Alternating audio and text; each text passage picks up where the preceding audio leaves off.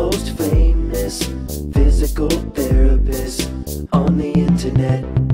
Hi, folks. I'm Bob Schrupp, physical therapist. Brad Heineck, physical therapist. Together we are the most famous physical therapists on the internet. In our opinion, of course, Bob. All right, Brad. Today we're going to talk about the top 10 exercises for leg lymphedema. This is swelling or edema in your leg. Sure. And these are something you can do two to three times every day if you want to. Mm-hmm. Uh, good time to do it is right away, you know, in the morning, and then uh, of course at night. Right, Um, right. And then maybe try to slip one during the day if you take your little nappy, Brad. So, Gotta have the nap, Bob. all right, let's go ahead and start off, right? Well, I, I don't. I just wanted to briefly mention uh, some people do get swelling confused with lymphedema because they're two separate things. Like if you sprain your ankle or your knee and things swell up, that's different than edema. Like someone that, that may have that you see their um, Well, lymph nodes were maybe removed from a leg, and that's that's causing it, or or um, even like congestive heart failure. Right. So you have yeah. this, it's swelling up and getting larger, but it's not from trauma. It's because the fluid is not going back through its natural path to recirculate, so to speak, into your system. So you get this buildup of fluid, but not from an ankle sprain, that's a little different treatment than what we're talking Yeah, here. it's really uh, important for you to understand that the fluid, when you build it up, get it built up in the leg, it doesn't go out through your toes. It's got to go back up into Sure. Mm-hmm. your into your trunk here, get processed, and then you're going to urinate it out. Right. So that's you know you may actually end up going to the bathroom more. often. Right, that, that is one of the, i- i- with a true lymphedema patient that has a lot, and we go through a full massage treatment, a lot of times it's a good sign if they have to say, I need to go urinate, you know you're doing your work. And this has to be approved by your doctor because you could overload your system if you're having heart problems. Exactly. Um, so th- this is something that should be you know doctor approved. And by the way, if you're new to our channel, Brad, Mm-hmm. uh, please take. You're not new to our channel. well, I might be though. All right, if you're new to our channel, please take a second to subscribe to us. We have the subscribe button over there. We provide videos on stay healthy, fit, and pain-free, and we upload every day. Let's get started, Brad. Say no more. All right, so you're going to start in what we call the supine position on your back, and you like to elevate your legs in some fashion. Um, this is going to make it a lot more effective. Right, so you get so your legs here. You know, even if they're this high, you're fine. You need to get them higher than your heart, so higher than the chest level. Right. If you can, you know, if if it's through pillows or if you can get one of those wedges that we always tout, Brad. Right. So, but you're going to start off with just by curling your toes, Brad. Right, so he's just simply wiggling his toes up and down. And to do that, the muscles for your toes are actually up in this part of your legs, so you're getting movement from here and here to help get that fluid moving. That's what we're looking for. All right. Then we're just going to go to Ankle pumps. ankle pumps. Yeah. Yeah.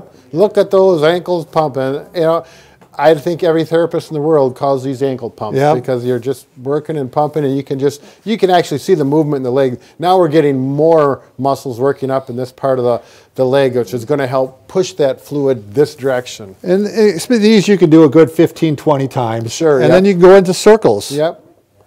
And- 15, and they- 20 they're, times. they're great to exercise the ankle, good range Yep. of motion. So you're not just working with the, the lymphedema movement, but you're working a good joint exercise and no- muscle. Now we're going to go into a little hip and knee flexion, Brad. Okay. You still can do that from this position Sure, here. right. So we're going to just work this side.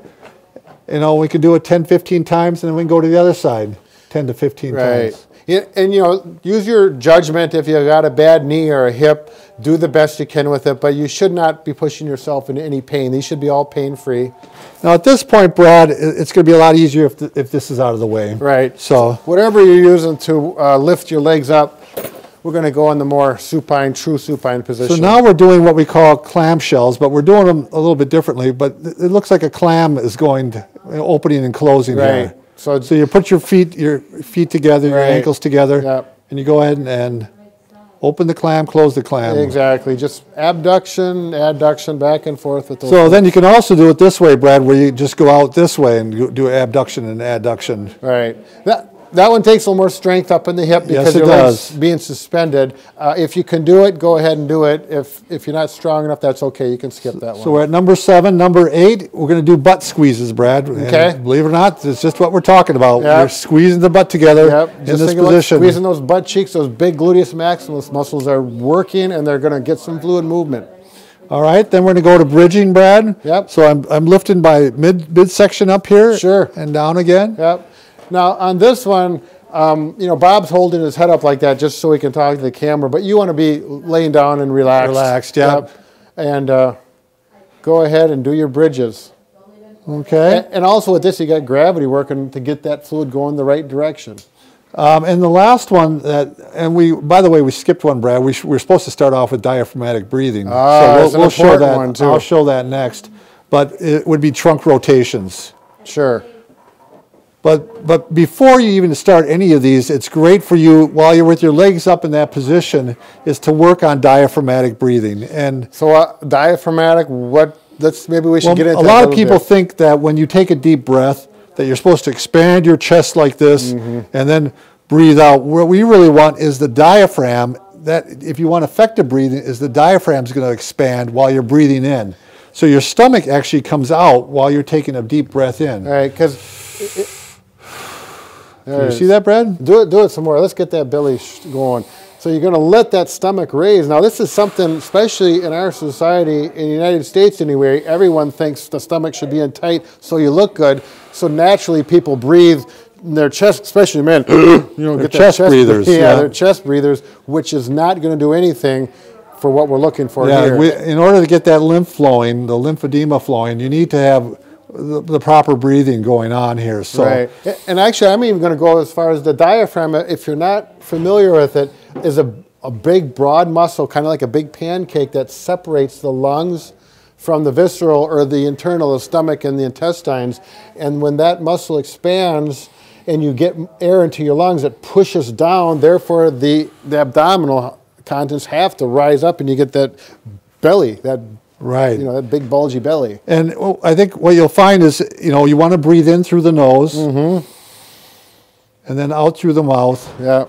Kind of you know, a lot of times, like you're blowing air out with a pursed, pursed lips. It's a great way to relax.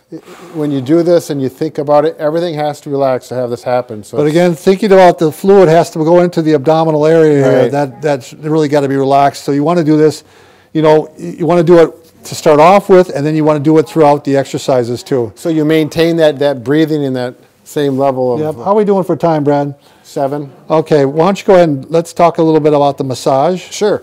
So Yep. you want to do it? Yeah. uh, Okay. Well, actually, no, stay there, Bob. This will work out well. Um, I just want to talk about the flow of the, the fluid. Why don't you bring your legs down? Okay. Again, like Bob mentioned, you got lymphedema. We want to bring it from the toes and the feet, and it's going to go travel all the way up. And this is the Aaron, our, our, our uh, expert at this, talked about. Think of having a drain right here, like in a bathtub right there at your belly button.